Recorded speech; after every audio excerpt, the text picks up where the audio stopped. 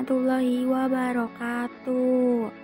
Perkenalkan, nama saya Septi Dwi Agustina, biasa dipanggil Septi.